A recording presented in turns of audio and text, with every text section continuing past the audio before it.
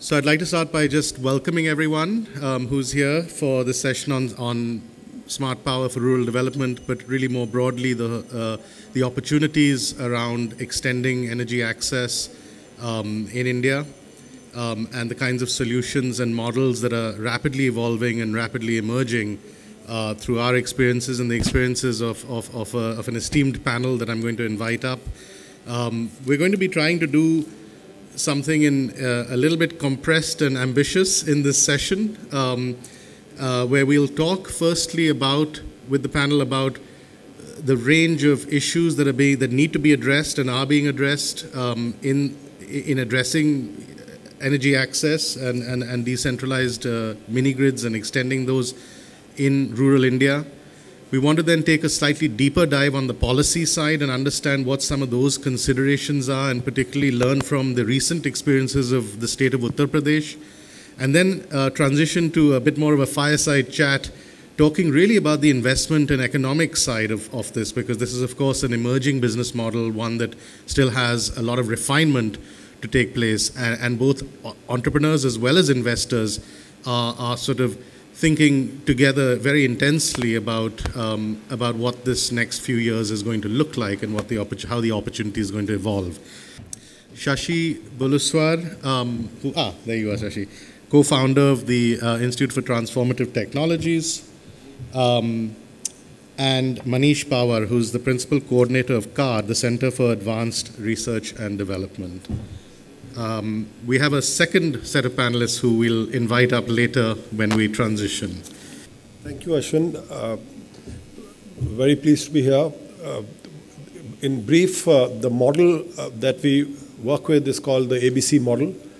And uh, the ABC model stands for uh, having an anchor load at every power plant. In our case, the anchor load is a telecom tower and um, the B stands for uh, small and medium enterprises. So at every location, uh, the, the plant has uh, 8 to 10 small and medium enterprises that it serves. Uh, and the C stands for rural communities and households. So there are hundreds of them at every location. So that's roughly the model. Uh, we operate in India and uh, starting to operate in Myanmar now. we will play the film now uh, which actually describes this uh, quite nicely. One quick question. So that's, that gives us a really rosy picture of, of what it's like to run a mini grid. I'm sure life is a lot more complicated than that. Given the business you're running, tell us what is the one thing that you are most worried about right now? I mean, uh, this business has uh, three cornerstones uh, in our assessment. Uh, the, the, big ones are execution. This is all about execution uh, in a very, very, in, at the last mile. So execution is, is a big issue. Uh, funding, Ashwin, is still a big issue. Uh, and, um, and thirdly, policy and regulatory framework uh, is, is the third, I think, uh, big issue for this business. Uh, since we operate in UP, a lot has been done, and we get an opportunity to, to hear what's been done. So I think this is what really keeps us awake. Manish, I'm going to bring you in now. Um, you're working, so to speak, at the other end of the equation. You, your, your organization, you have deep experience in working in rural India, in promoting new enterprises, in seeing how rural livelihoods can be advanced. Um, so you're excited about engaging with an initiative with an effort around that brings, seeks to bring energy, uh, electricity into areas that are underserved or not served at all. How does that fundamentally change the opportunities of the landscape in a typical village or typical area that you're working in?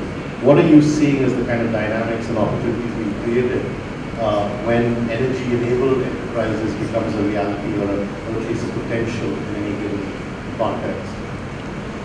Um, we are a voluntary organization working in central India on rural livelihoods. And we see that there is always a demand in rural area. But there is no surety of electricity, assured supply. So either we compromise or pay more. Pay more doesn't work for long.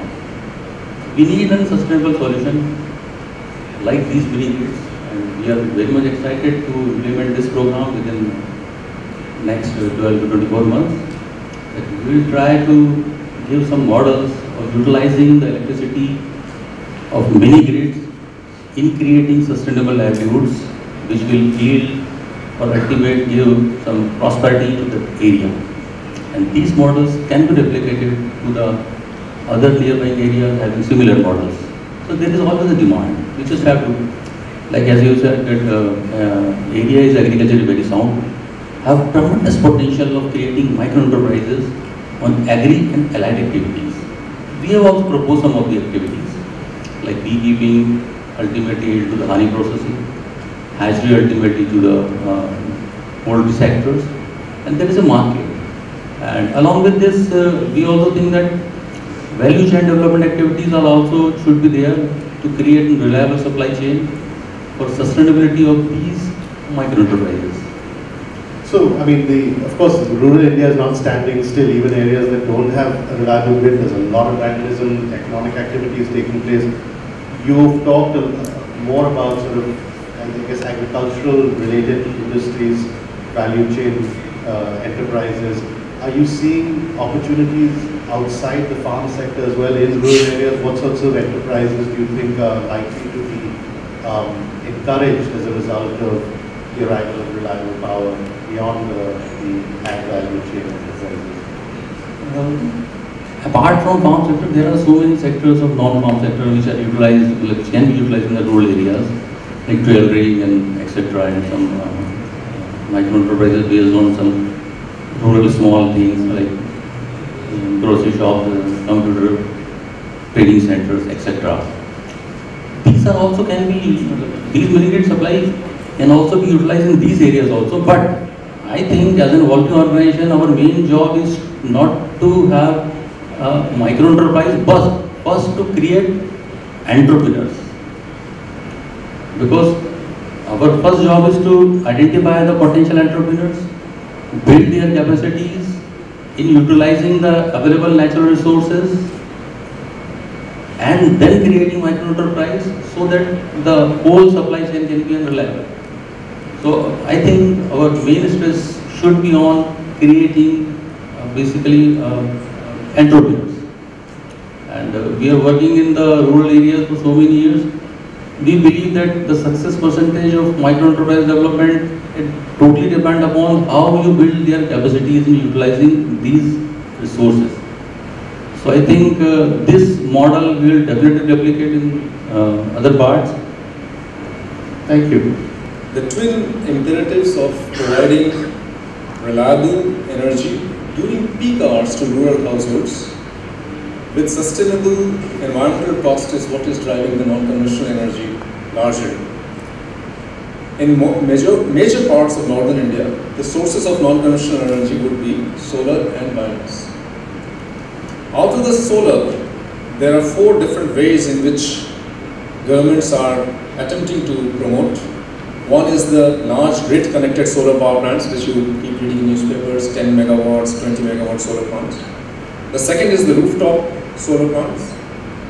The third is solar household items like solar pumps, solar lanterns, solar mobile chargers, and the fourth is this solar mini grids or off grids. Naipaul once wrote a book of India million mutinies now. So I'm, I think all of them has their own space and all of them can operate. We in Uttar Pradesh have a policy for grid connected solar policy. We have a policy and regulatory framework for rooftop and now we have a policy for mini grid backed by a regulatory framework. Why I am speaking on mini grid is probably because you want me to speak on mini grid and also because UP is the only state which has a mini grid policy, unlike in rooftop and grid connected where other states also have. It will be interesting to know how this policy and why this policy started before I go into the major features of this policy. What happened was around six months back, my then QIC, and this is real life story, she came to me that there is some companies who are actually putting up mini grids and they are not wanting any subsidy uh, from the government, they are putting up these mini grids and the villagers are very happy and they want to meet you. That is how this policy started. So we had a meeting with this people and uh, we tried to understand what is the business model. Because we have had many before, largely through government grants, but this was a model in which we found that this is a business model. This was something which we found for the first time. and as Rohit explained the ABC model, this is what he explained to me then around six months back. The proof of the cake is eating. We went to the villages, we saw whether the villagers are satisfied or not, how their operators actually work. And then we, and through discussions we realized, as has been pointed out by other people also, that there are four keystones to this, not three, actually four. One is entrepreneurship, one is technology, one is finance, and fourth is policy. In government, we can do this policy and regulatory part. The rest, there are other people in the panel. From there, we started, we realized that there's a need of policy and which are the issues that an entrepreneur or an investor would be interested in to be addressed through that policy. This is a policy which actually followed a practice. There were people doing the, working on the ground and our policy was formulated by talking to them. So this is how the policy came out. It was launched in February this year. It was a few days back, there was a huge convention in Lucknow, and the Chief Minister inaugurated it when he launched this policy. Many, some of you were there, some of you were not there, but it showed the backing of the Chief Minister for this policy. But the policy, and I'm happy to tell you that the policy has been followed up in, I think, record time by the regulatory framework by the Electricity Regulatory Commission, which has been issued on the 10th of April. So not only there is a policy, but there is a regulatory framework, and UP is the first in, I think, to the best of my knowledge, not only in country but globally, to have both the policy as well as regulatory framework. We, we don't claim that it, everything is hunky-dory, that we have addressed all questions, but it is something that we attempted with all honesty. I will go through the basic features, I will not, the attractive features of the policy is that we are not saying that it is for villages which are off grid, which grid has not arrived. We are leaving it to the players.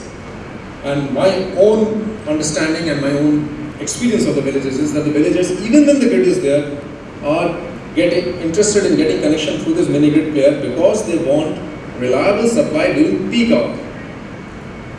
What is important is the reliable supply during peak hour when they don't get the electricity through the grid even now. So even when the grid is there, they are actually interested in getting this connection through the mini grid player. We have left it open to the player that you can have it in a village where there is no mini grid or there is no grid, but you can also have it in a village where there is grid if you can think, if you think that you are a viable player still. The maximum capacity that we are given is 500 kilowatt, for which we define it is a mini grid. Now the grid policy basically has two components. One in which there is no government subsidy and one in which there is a government subsidy. The one in which there is no government subsidy, we are acting as a facilitator. The basic problems are for the people who are wanting to put a mini grid without a uh, subsidy is that still there is a confusion, although the law is clear that whether you require permission from the regulator or the DISCOM or the village panchayat or something. So the policy makes it very clear that you don't require any permission or any license to put up in any part of the rural UP grid. You don't require anything. You don't require any tariff consultation or any tariff justification. The tariff is left to you and the villagers themselves on mutual consent, which is something which many of the players could have had a problem with, but we deliberately kept it in that. So there is no uh, problem on the tariff front. Also, the advantages of the industrial policy, which UP already has, in 2012 will flow, there is a state nodal agency which will facilitate the removal of the problems. There is a high power committee headed by the chief secretary, and there is uh, the district master's role well defined for the right of way and things like that. But as Ashwin said, that the main thing was the exit clause. I'll come to the exit clause.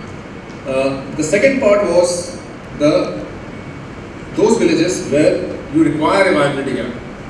There we have said that in those where this, there is a subsidy which is to be given by government, then the service level agreements, the choice of villages and the tariffs has been defined in the policy itself. And then there will be bidding for viability gap. So we select the village, we fix up the tariff which is given in the policy, we fix up the number of hours that has to be supplied, and on that basis they will be bidding for the viability gap. So, so that is two parts of the policy. The exit clause this shows that when or the grid comes or if the grid starts supplying energy to the to the extent that the mini grid operator now wants to back out, then there are two exit options. One is that the mini grid operator starts supplying energy to the DISCOM at a rate which is determined by the regulatory commission or through mutual consent. Or the second, that the infrastructure is given back to the DISCOM at a rate which is determined now by the regulations. In the policy, the regulator actually went forward. The regulator on this regulatory commission's uh, regulations of 10th April has actually defined the way in which the infrastructure cost will be determined, the depreciation method. So that ambiguity which was there in the policy has actually been addressed by the regulator. And also how the energy is to be bought from the player to the DISCOM. They also put a very interesting thing that as long as the mini grid operator is playing, that the energy generated by him will be accounted to the renewable power obligation of the distribution company as a sweetener. But if they don't go for the exit clause, then the RPO will go, go back out of the DISCOM's account. So it is a kind of incentivizing the DISCOM to help the player exit at some point of time. The, both the policy and the regulations are in public domain in the respective websites of UP NEDA and UP Electricity Regulatory Commission. Uh, we did a lot of consultation with actual operators on the ground. We are still uh, in touch with them and we are in touch with some reality. But uh, I'm sure people can do even better and other states or the national government probably will come out with even better policies. But right now this is the only policy on table. This is the only regulatory framework on table. And as I told you that there are, and as there are players already working in the state of Uttar Pradesh without subsidy, putting up 60, 70 villages already with thousands of customers connected to their mini grids. So therefore, there's something which is happening, which is viable without government subsidy, and therefore some, there's something which should be looked at. Thank you. Thank you very much. My question is to both the commercial guys there and uh, on the policy side. Uh, between the central grid and uh, these last mile mini grids, uh, we have differences in terms of cost of production of uh, power itself per unit, which will correspondingly translate into difference in the tariff uh, rate that's being offered. Additionally, there's a huge difference in the peak wattage that uh, the customer can draw, as well as the number of units he can consume. So most mini grids today are offering two lights, one fan kind of functionality to the end customer. So given that, how do we see uh, mini grids actually second thing is, if you look at uh, what the REC app right now uh, shows, it shows that only 10,000 uh, villages currently are unelectrified and the central grid is being extended. So uh, given that the central grid will continue uh, to push on towards the last mile, how do we see mini grids surviving that? So UP has decided that we will not, uh, you know, push central grids to a region where they had not reached before and we'll uh, let private players take it up, but that's not necessarily what's going to happen uh, everywhere. So uh, thoughts on that? Okay, uh, yeah, why don't you jump in? I think UP, your assumption that UP has decided is not right. Okay. If you go to the same REC app, you'll find that in UP there is not a single village which is now unelectrified through the grid. So that's what I say, say that even if the grid is there, the villagers are opting for this mini grid parallel connection because of assured supply during peak hours. So typically if you go to the villager, you will have two connections. And um, that is one. So it is not exactly that if the grid comes, automatically this is not viable. But tariff comparison in that case? Second, the tariff is coming out because of this ABC model. The tariff for the common householder is down because of the ABC model of cross-subsidizing through the A and B. And therefore for the villager it is okay. But this is this can happen only in the villages where there is an A and B. It may not happen in all villages and therefore this viability gap funding option is Let me just sort of um, emphasize though, I think the tariff, differential tariff is a reality. Um, and, and so in a sense, you have to look at these as two quite different products. And, and, and consumers are making a choice about the price that they're willing to pay. Uh, but if you, if you convert it into a per unit cost, there's no question grid electricity, grid electricity is significantly, as, much as a third or fourth cheaper uh, than uh, the uh, mini grid power provided by companies like OMC.